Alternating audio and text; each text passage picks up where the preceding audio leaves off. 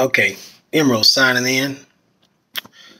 I thought I'd read this, start by this video uh, by reading the legal definition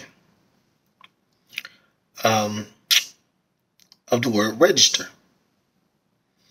Because I, I read something on one of my, on my previous video where someone was actually telling someone not to uh, register the name but to record it.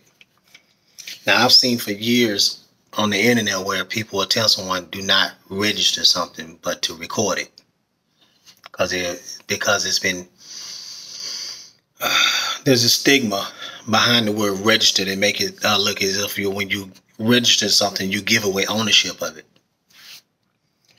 And there's nothing in the legal definition. There's no def. There's no no uh, legal sources um, that backs that up. That's ever taught that ever. And I've never seen it and I looked for it. Okay. What I did find was the actual definition of the word register. Okay.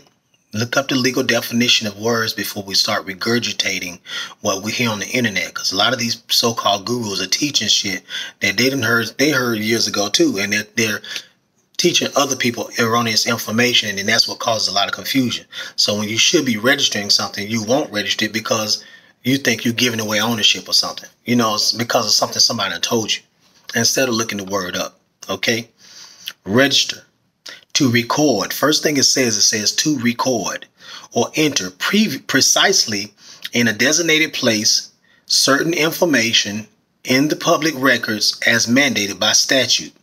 A book a book of public records. It says a register a register contains various types of information that is available to the public, such as births, dates, and marriages.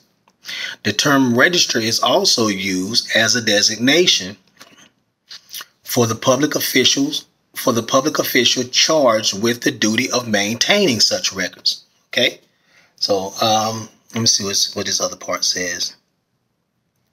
No, that's irrelevant. Oh no, what's this down here?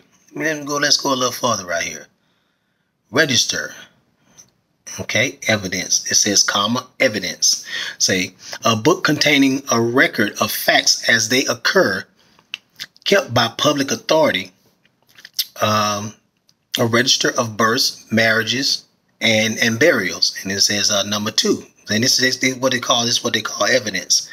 Although not originally intended for the purpose of evidence, public registers are in general admissible to prove the facts to which they are uh, uh, they relate. Okay, when you read when you read so when you register something into the records, you can use it as admissible evidence. Stop letting people tell you not to register stuff. Okay.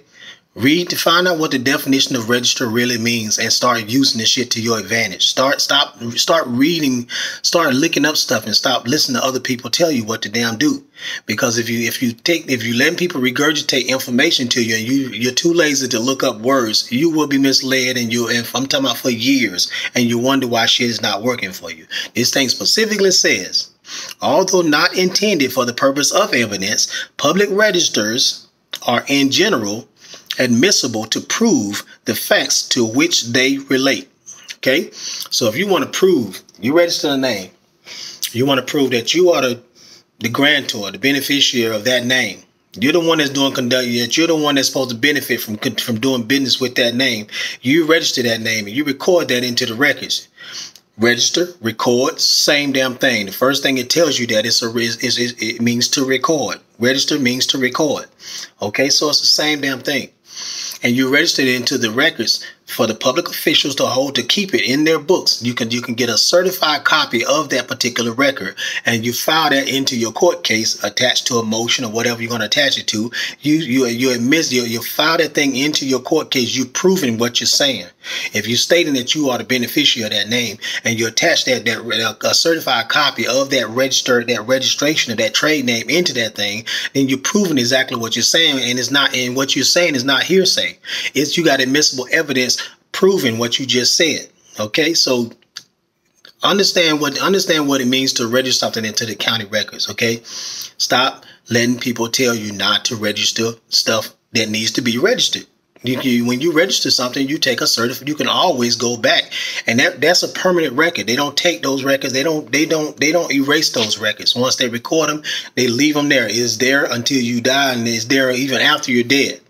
I've seen uh, there's a there's even a um there's even a, a video on YouTube where they even recorded slaves as property, and those that those registration those those uh those records are still there. And the, all those even the slave owners were even they even dead. But that those records are still there because it's history. You're not to they're not to take them out of there. So anytime you go back there and you want to go to that book and that page number to get get a certified copy of that thing you use that thing as admissible evidence to prove the facts related to that case. You know what i'm saying so you want to prove that you are the you're the, the, the, you're the, the beneficiary of that all caps name, once you register that damn thing, you get your certified copy of it. Not just a copy, but a certified copy. What I mean by that is you go you can go to the county, you ask them for a copy of that of that you know for that uh, that record, and you ask them to certify it. That's where they stamp it. They will stamp it with their with they'll stamp it and they'll see it and they'll have their seal stamped onto that document and they'll they'll have their, their rating signature on that on that seal, confirming that this is a certified copy of our records, a certified copy of the real record, of the original record.